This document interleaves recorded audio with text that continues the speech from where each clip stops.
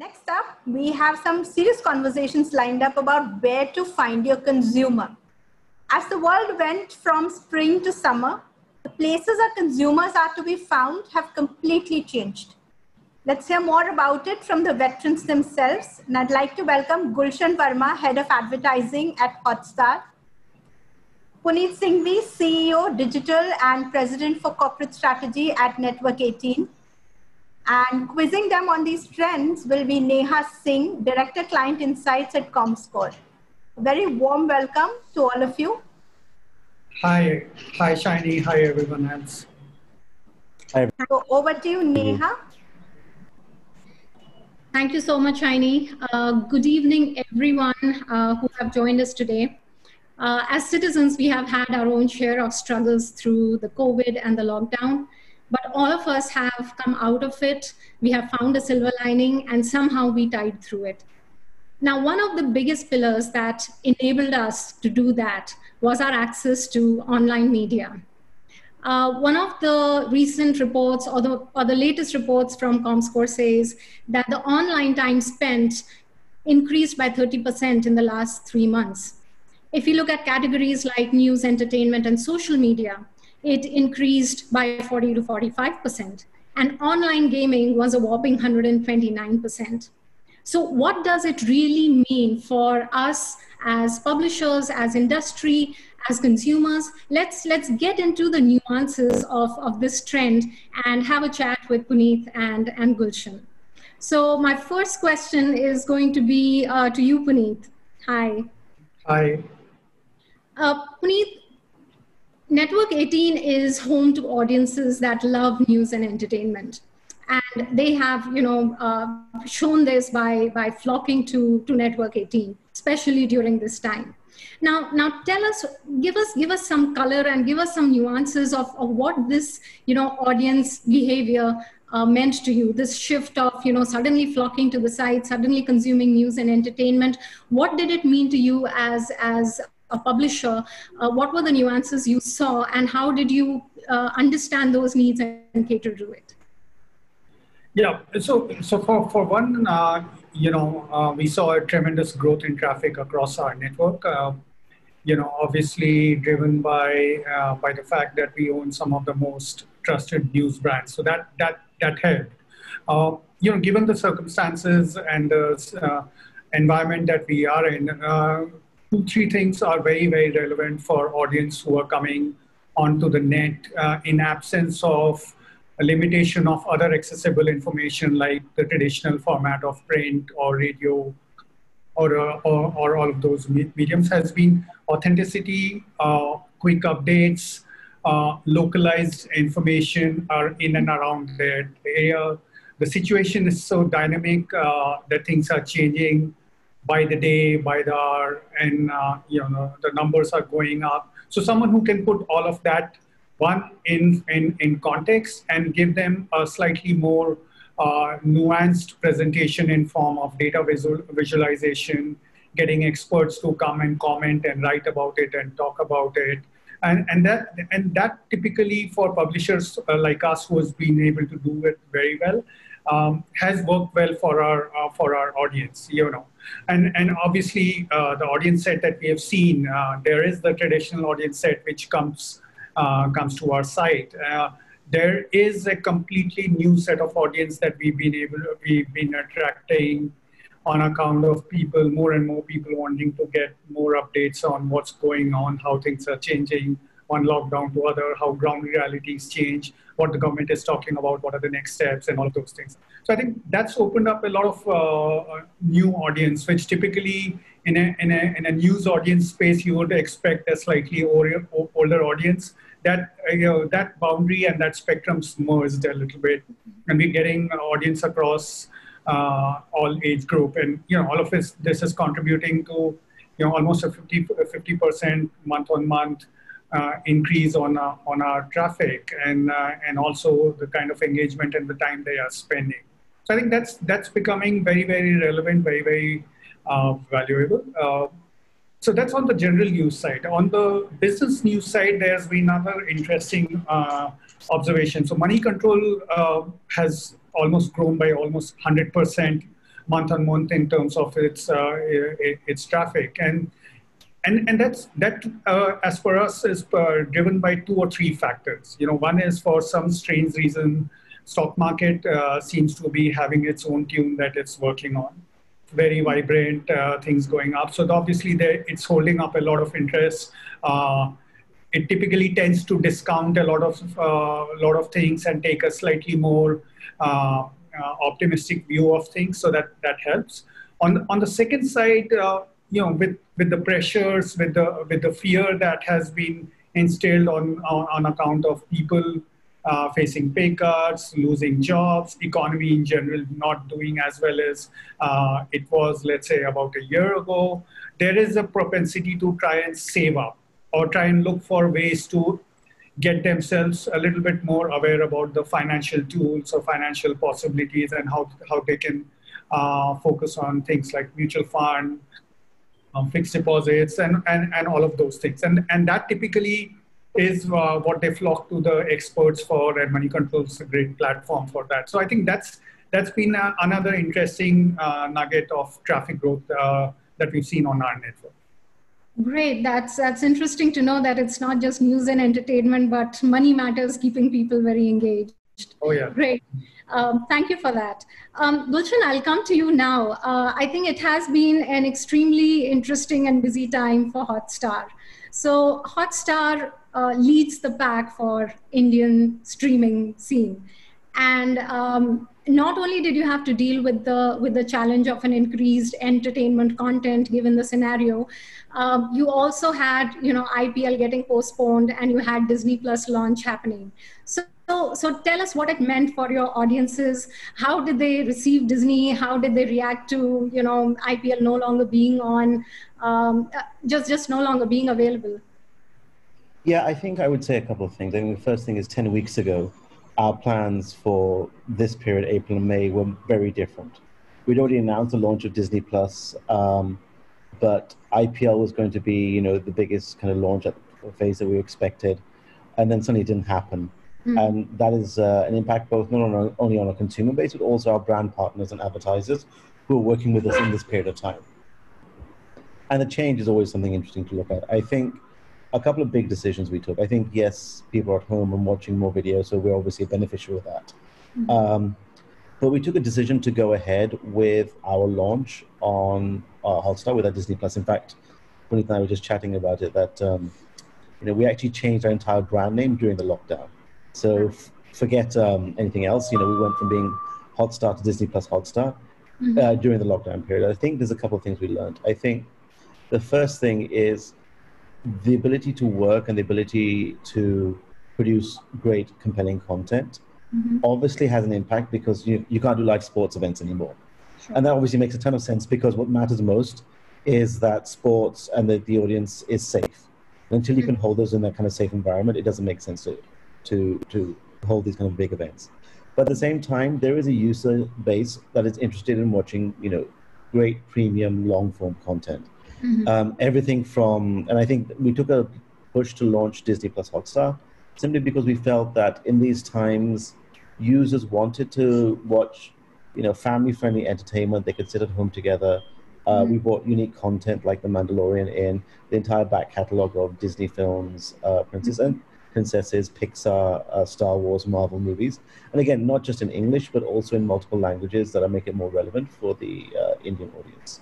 So I think those two or three things kind of was a was a fairly big step up for us. Um, and then as we started evolving in terms of how we started to think about our, our new content, you know, we had two problems. I think firstly, like most of our television partners here, we our broadcast was shut down. Okay, mm-hmm. so how do you create content around that? And so we've launched, for example, our new home-based shows like Home Dancer, which mm-hmm. launched this week, basis the idea of can we take the idea of like, you know, like Ashish was saying, what are people doing at home and can we make some content out of it? Sure. And I think those are the two or three things I would say. I think the only other thing I'd probably add is we've seen a definite change in the kind of content we want. You know, we talked about the power of news and what people are trying to find out. We're actually one of the largest news streaming platforms in India because we carry mm-hmm. multiple like channels. Mm-hmm. And you know that has almost tripled in mm-hmm. terms of what people are coming to Hotstar for.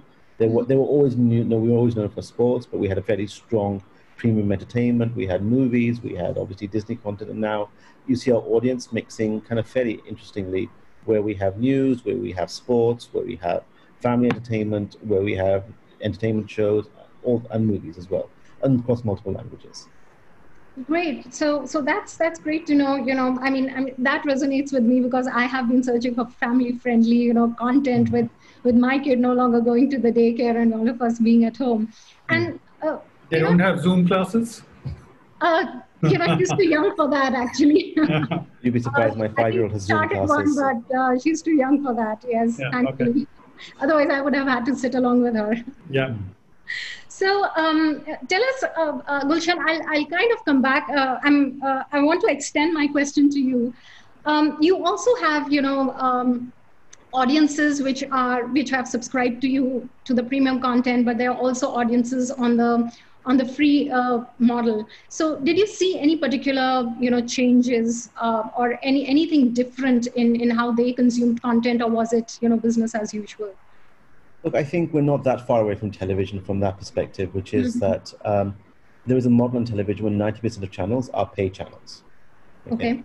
Um, and that seems to work. And what we've seen right now is that we have models where users, some users register.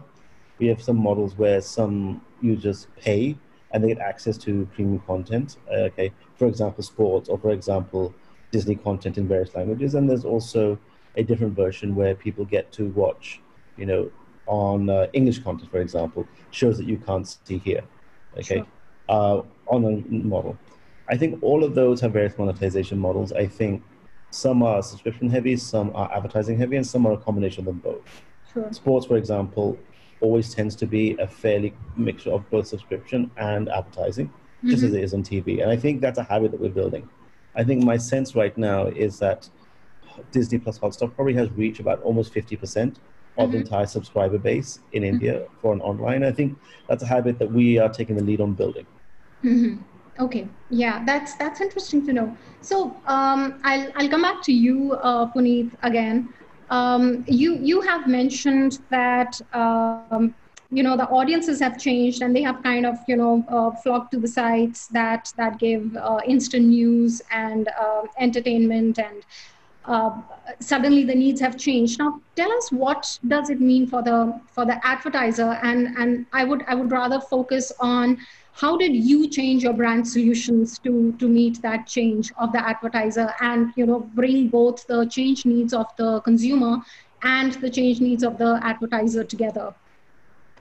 So so yeah, I mean, uh, look. Um, this is a situation where practically everyone is impacted. No one's spared of the impact of what this has, what COVID has brought around, both in terms of the economy and in general the consumer, uh, you know, the consumer spending habits, confidence, and all of that. Mm-hmm. Uh, you know, the advertisers, uh, let's say for FMCG guys or for a lot of auto guys, the supply chain is broken, the distribution networks have, have been stalled because of the lockdown uh, logistics are uh, not not necessarily uh, the the the best shape to, to, talk about. so what this has done is it's done two things. You know, one is it's interestingly it's opened up a lot of new advertiser sets for us. Uh, people in ad tech, people in, uh, uh, in, education, people in you know people across gaming and OTT. Um, they you know that's those are the traditional what you would say uh, aligned uh, with digital kind of advertisers who are still going out and spending mm-hmm. uh, then there are the other set of advertisers like the fmcg which interestingly has been a revelation for us as a news network which typically tends to not get a whole lot of uh, fmcg advertising is there campaign-based or awareness-based initiatives. And uh, you know, in, in one of the previous sessions, Ipshita or someone talked about uh, purpose-led marketing. You know, it's it's about uh, you know extending their brand to be uh, associated with caring about their consumers, uh, creating awareness. So FMCG brands like uh, Reckitt or Dabur and all of these guys, they've been working with us fairly uh, closely on uh, very integrated campaigns across mm-hmm. digital and, and, and television, and and we are able to uh, you know, because we have a television network, we are also have, able to have them uh, help them with some sort of basic video productions and stuff like that, which uh, which in these times is very very important. So I think that's that's the other set of advertisers which has opened up for us. Mm-hmm. And finally, then there is the there are the traditional BFSI uh, clients where the scale of reach that they are now getting mm-hmm. is significantly higher. It's only that the conversion is uh, is the conversion percentage is lower because people are a lot more tentative, and that's where we are working uh, together with them to drive uh, education, awareness, uh, getting webinars and experts to come and talk about it. You know, some of uh, we we just had a webinar on on Sunday where we got in excess of 20, 29,000 concurrents. Uh, driven by Money Control Pro, so I think there is there is interest. There are uh, formats that are emerging where people are getting a little bit more interested about doing integrated stuff. There is the traditional advertising on display, programmatic, and all that, but that that volume is is obviously a lot lesser. The demand side is picking up slowly, and we we hope that uh, that sort of comes back up on the radar in the next couple of months. Got it, got it. Thank you so much, Puneet. Um, Gulshan, tell us how has how has the brand solutions on Hotstar, you know, changed for you and I'm sorry, we will be rushing a little bit. We have just got a, um, you know, warning. So, uh, but but I'm really interested in knowing, you know, how has Hotstar really pivoted what they offer to the to the advertisers. Uh, you're muted, Gulshan. I think our advertisers were asking us, I think, three questions, which was one, in this time, should we advertise? Mm-hmm. In the second time, second question was, okay, what's our message? What's our, what's our creative message that we should say? And I think the third thing they were saying is, all right, fair enough. Um, help me produce the ad. I think Puneet was talking a bit about it before. What's the right message, etc. Um, I think, and again, as head of advertising, I, am kind of biased upon this one. So I would say yes. You know, you should advertise. I think we did our own research with our social uh, media monitoring unit, and we found that you know 70% of advertisers uh, users were actually appreciative of advertising that was more normal. Mm-hmm. I think a mm-hmm. lot of feedback came around the the piece around there was definite interest in I think more nostalgic advertising that kind of harked back to a better time, including things like obviously Amul and other pieces that kind of worked well. Mm-hmm. I think the second thing that was like, well, why should I advertise when it comes down to the business side of it? And at least my perspective is that um, in, a, in, a, in an era of supply chain kind of disruption, not everyone's going to have access to the fa- favorite brand they know. So actually, we had a lot of, you know, I would say new brands or tier two brands or people who weren't leaders actually saying, you know, maybe this is the time for me to get our product, who can get the products out in front of somebody, and maybe they can get a user as well, whether it's, you know, my uh, noodles aren't available, but this other brand may be good enough. And, you know, how do you reinforce that activity? I think the third one is, yes, we were able to help them obviously with production. I think the bigger thing that we realized is what's a messaging, what's a script, what's it look like? And I think our statement was is that I think eight out of the top 10 TV influencers are on Hotstar. So mm-hmm. actually, we've been doing a, a, pretty interesting kind of rule where we're basically helping uh, marry brands and the right influencers across each other. And we did this with Kellogg's. And, um, you know, we produced a whole set of advertising around, again, in Hindi and Tamil, in different languages, where, you know, the message was relevant. It was much more credible because it came from somebody who users are used to seeing and talking to every single day. And I think that's something that we, we see. So I think those three in the end were the, were the biggest part of it. And the question is, we've always done brand solutions, but how to do it at scale. And I think mm-hmm. those things are the ones that we were able to scale up. Great, great. Thank you so much. So, you know, we were able to um, cover both the, the, the consumer side and how, you know, the advertisers are being catered to and, and the three broad points that I can quickly, you know, uh, point out before we wrap up would be, um, this is the time when new audiences have come uh, to the to the uh, to the online digital media, and hopefully that's going to be the new normal as some of them would stay with us. Uh, this is actually a very good time for advertisers because there could be hidden opportunities and there could be um, you know new brands opening up. There could be challenger brands that can that can take advantage And, and finally, um, this is probably the time when we should really be looking at how to win trust both on the consumer and, and the advertiser side. So I did have questions, but I, I think we're short on time right now. So I'm going to give it back to Shiny if we have any questions from the audience in case we have to address them. There are questions from the audience and I would request both of you to look at the Q&A and maybe answer those questions. So that's how some of the other panelists have also taken up questions. So it'll be great because we have specific questions for you, Puneet, and for you, Gulshan. So do look at the Q&A panel there. Thank you so much. I think this was, again, a very, very interesting session. Uh, thank you for joining us today.